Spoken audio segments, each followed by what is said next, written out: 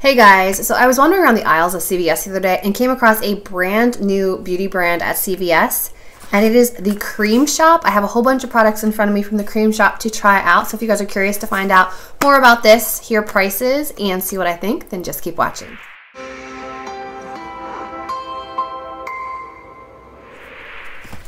Okay, so the Creme Shop is an entire display, brand new to CVS's near me. I've never tried it. I've never even heard of this brand.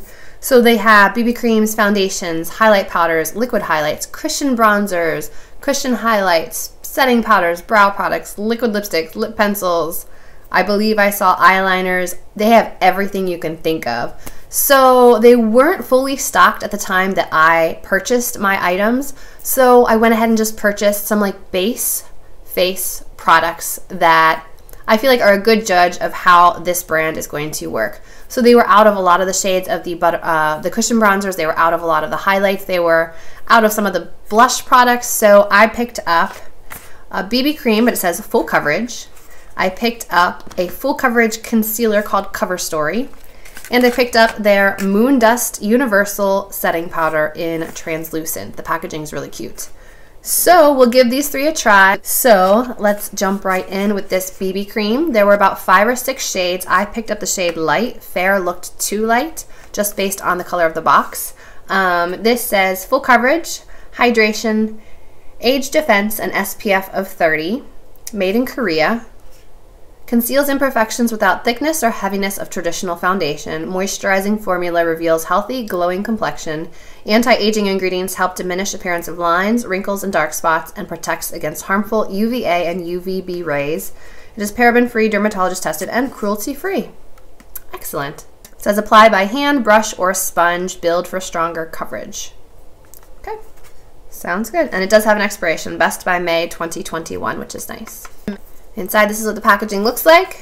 I should probably mention prices too as I go along. This BB cream originally was $17.99, which is not cheap for the drugstore. It's more like Revlon prices. So let me see what this color looks like on my hand. I feel like that's going to be a pretty good color. Yeah, that, we can make that work. So I'm going to start off with my Real Technique sponge, and then I'll go in with a brush on the other side.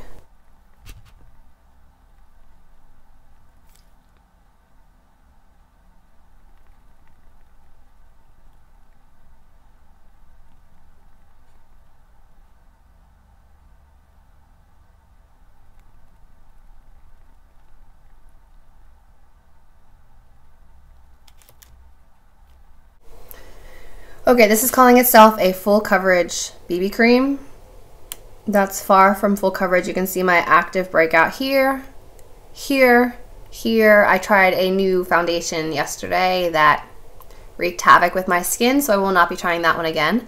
Um, but I thought a BB cream with all these benefits would be nice for my skin. I'm saying this is more like light coverage with a sponge. Let me see if it'll build up at all.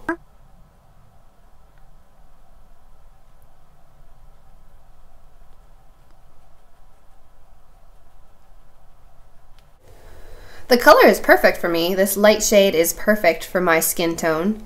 Um, but I'm not getting really much coverage. It does say BB cream, but it had full coverage written right on it. So let's see if I have better luck with the brush side.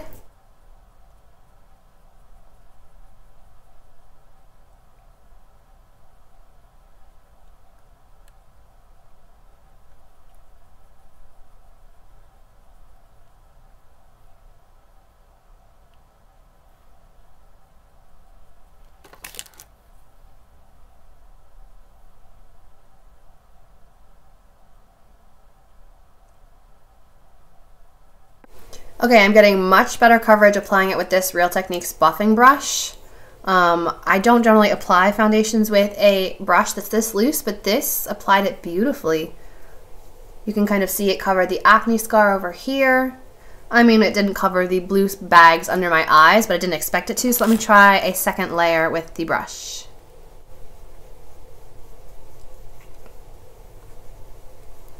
Okay, that settles it. The brush is the way to go. So let me finish up the face so that this looks even and flawless. Okay, so the BB cream is on. It's very, very shiny. Like, I am glistening everywhere here. Not glittery, just very, very dewy, like ridiculously dewy. I'm not sure if you guys can see it because the light's dispersed, but I mean, look right here. I have no highlight or anything else on, but I'm just very, very shiny. I would definitely need to powder this. Makes me wonder how this will last on my combination skin because I do get oily in the center and then kind of dry around the perimeter. So we will see how this works. It's making my pores look humongous. Like it looks like I have giant craterous pores all over my chin. I don't know about this. Not loving it so far. Let me zoom in and give you guys a close-up. Can you guys see the large pores here that I'm talking about? It just looks really bumpy.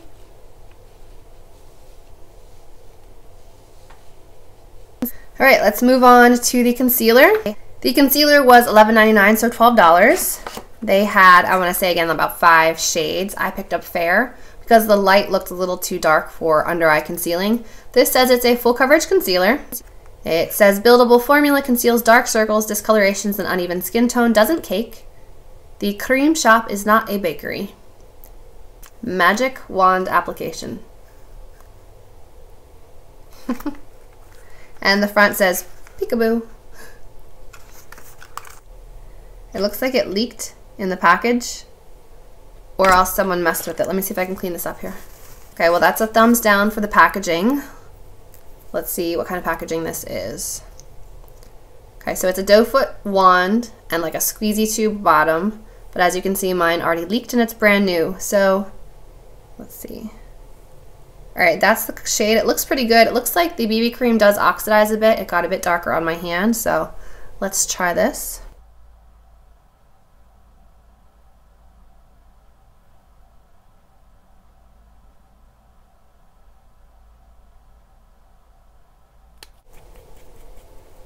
And as always, I'm going to use a sponge.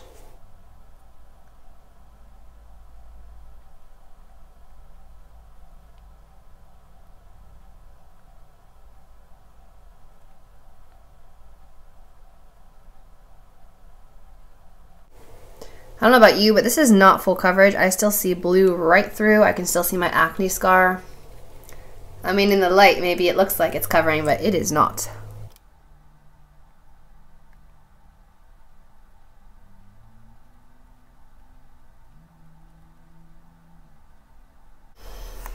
Okay, it says not cakey.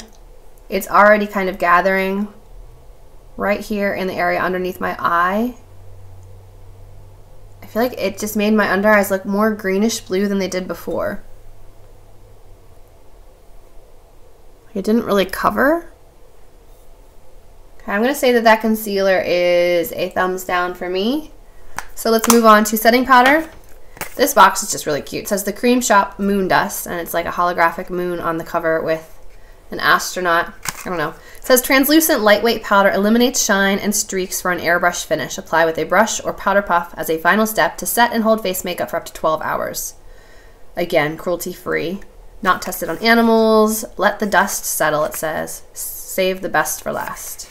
The creme shop with a little astronaut on it. This reminds me a lot of like the Wet n Wild loose highlighter packaging. Oh nice, it has the little, it has the lid that comes down to keep the powder intact when it's closed so the powder can't puff out while it's sealed. I like that. It does have some color to it, which I appreciate. It's not completely white. Okay, that looks nice. So I'm going to take my Real Techniques powder brush, just kind of dip in to the little well here, tap off, and try one side of the face.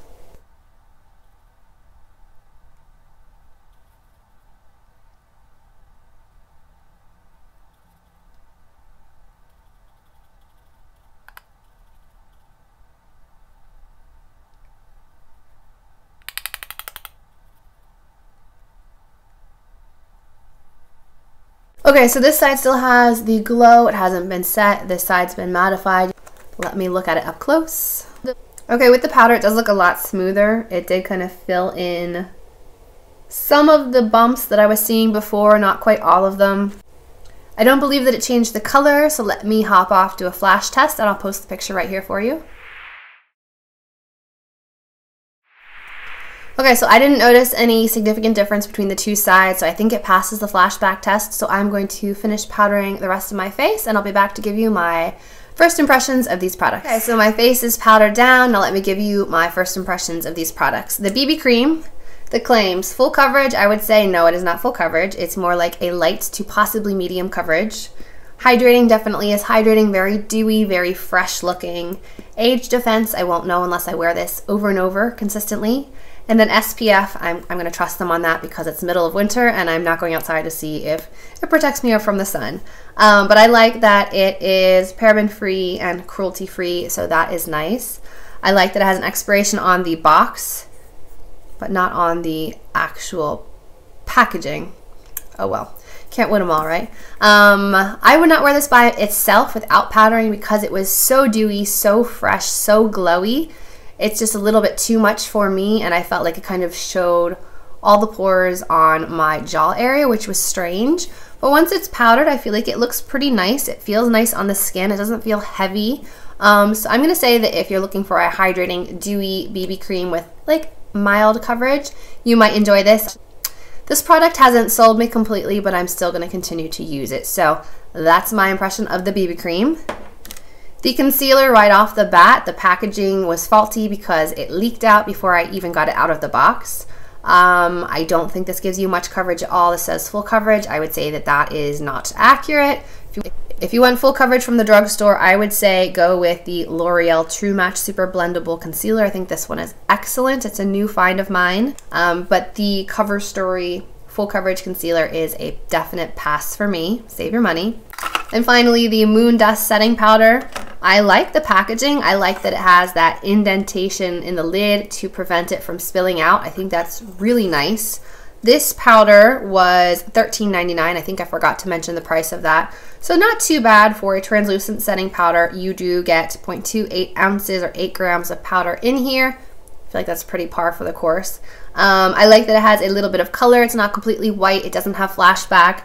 It feels really nice on the skin, so I'm definitely going to continue to use this one. I'm not like blown away, like my skin doesn't look airbrushed, but it doesn't look bad.